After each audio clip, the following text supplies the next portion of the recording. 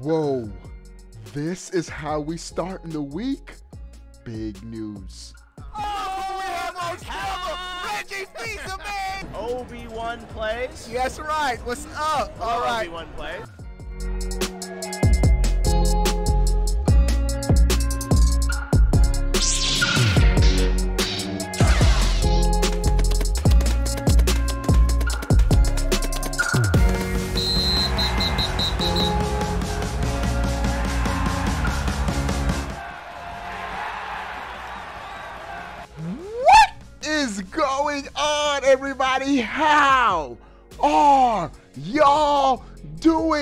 We have a couple of big news items to start out this beautiful Monday morning. But before we get started, give the video a thumbs up. Let's crush 400 likes for this video. We can do it. 400. All right, bro.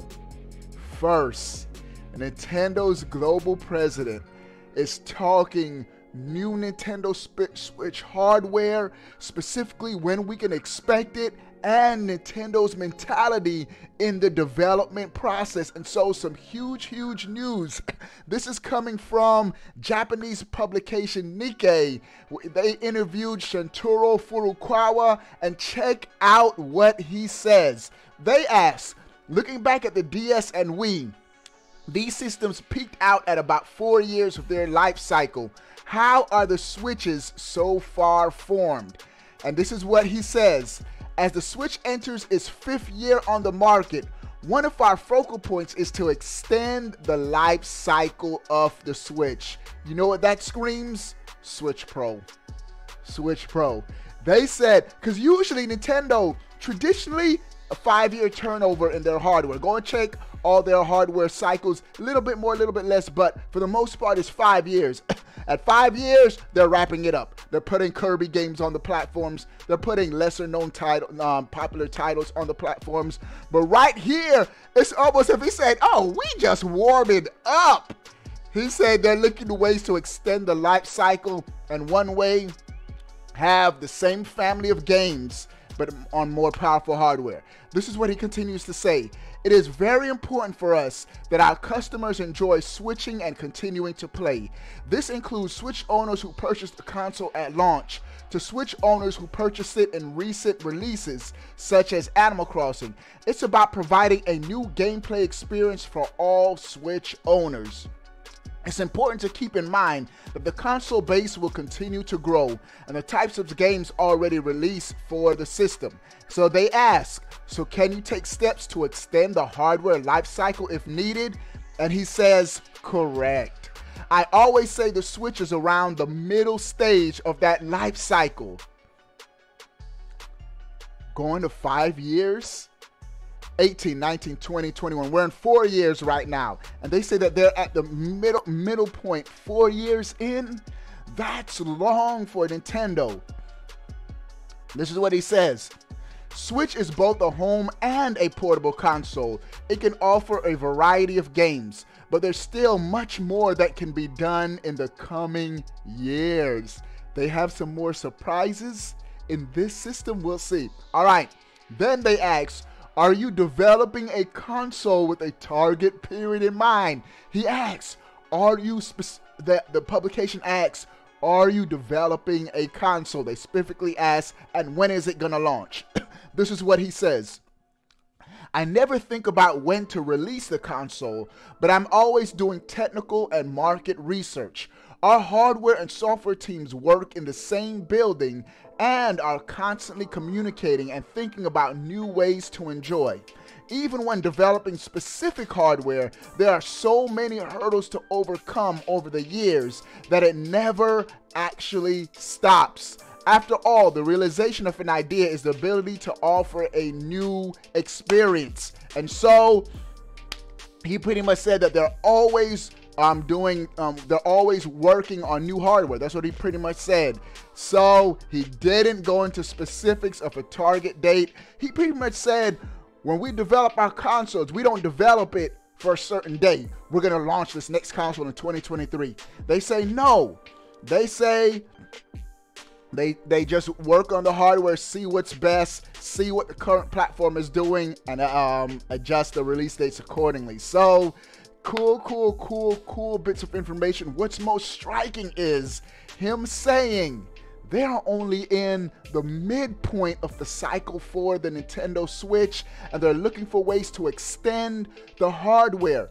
What this says to me is a Switch Pro, a PS4 Pro type situation where they do not want to leave behind the 80 million plus fan base. They want the same games to run, uh, to work across all Switch systems, but gamers could always want higher frame rates, better resolution. Interesting, interesting stuff, bro. What if I told y'all? All right, next news item. Let me just set it up. All right, next news item. Only on Wii U. Like, bro, what if I told y'all we're gonna get a Nintendo Direct next week, probably? Check this out. Cutting, um, this is coming from express.co.uk. Zelda Breath of the Wild 2 could make an appearance during an upcoming Zelda Direct to mark the series' 35th anniversary, and here's why. February 21st, 1986 was the date that the world was first introduced to Link. And so, the 35th year celebration of Zelda officially kicks off February 21st. That's when the original Zelda game was launched, and February 21st is one week away. According to this article, they're saying to keep your eyes peeled for a Zelda Nintendo Direct, Zelda focused Nintendo Direct, possibly coming February 21st based on the 35th year anniversary date for Zelda. I think that's a perfect time to crank out the information. This is coming hot off the heels of a whole bunch of trademarks recently being filed and renewed. Wind Waker, Skyward Sword, Phantom Hourglass, to name a few. And so I can't wait, can't wait perfect timing. this year is going to be a great software year for the Switch. We already have that fire Mario 3D World, which I will be playing this morning. If you're watching this video, I probably will be uh, on my gaming channel, Obi-Wan Plays Gaming Championship, playing with the sponsors. We're going to be playing Super Mario 3D World. Game is lit, game is lit. And Speaking of Super Mario 3D World, some great, great news just came in. Early data or early software sales are starting to come in for the game, and it's looking pretty good. First, it's the number one selling game in the UK. And so it's already starting off. UK is the only area where we're getting information so far. First, it's the number one selling game in the UK. And as of now, it's the third biggest Mario platform launch on the Switch, and it's up against tough, stiff competition. It's behind Super Mario Odyssey and Super Mario 3D All Stars, so the game is off to a great, great start. Great game. IGN. This is another epic fail for y'all, bro. This is a Mario, this is a double dash type fail. Giving double dash a 7.8, bro. You couldn't have given it 8. Come on, bro. So great to see the game is doing good, good, good. Bro, this next news item is crazy. Microsoft just dodged a bullet, and we don't know if they're out of hot waters yet with Nintendo. Check this out. An official Microsoft Edge um, Twitter account.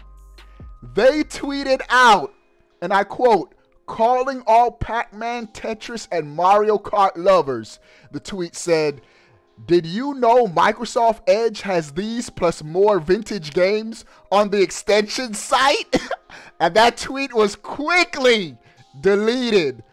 They accidentally were promoted ROM illegal games on their website. And somebody caught called Winterfit. I was like, hey, hold on, bro. We're not supposed to have these. We can't be having Mario Kart on our extensions, our Microsoft Edge extensions. And so I guess they had these games buried into their extension files, which they weren't supposed to. They tweeted this out. Some someone in the company tweeted this out. Oh, y'all can play Mario Kart on Microsoft Edge. And somebody got a winner like, nah, fam. We can't do that, bro. Nintendo ain't about that life. We don't want to get sued. We don't want to ruin our relationship with Nintendo, most importantly. So I thought that was interesting. That gave me a good laugh. The tweet was up and it quickly got deleted. And this was on an official Microsoft account. talking about play Microsoft, play Mario Kart on Microsoft. All right, so I thought that was interesting. What do you guys think about all the news we talked about in this video? Sound off in the comment section below. I want to know. But before you go, bro, click that subscribe button. Stay up to date. All things Nintendo. We out. Boy. You still watching this video? That means you like me. You really like me.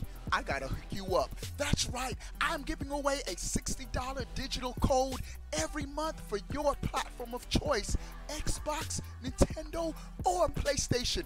Two ways to enter. One, make sure you're subscribed to this fire right here on YouTube.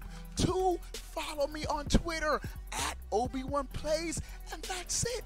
You're in for the giveaway. But wait, there's more. Do you want to join an awesome gaming Discord with prizes and tournaments? Do you want to get on my friend list and game with your boy? Become a sponsor.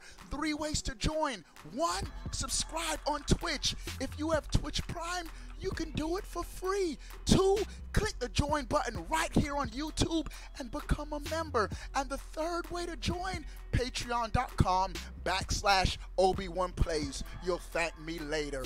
Also, check out the swag, bro. Links are in the description. I'll see you later.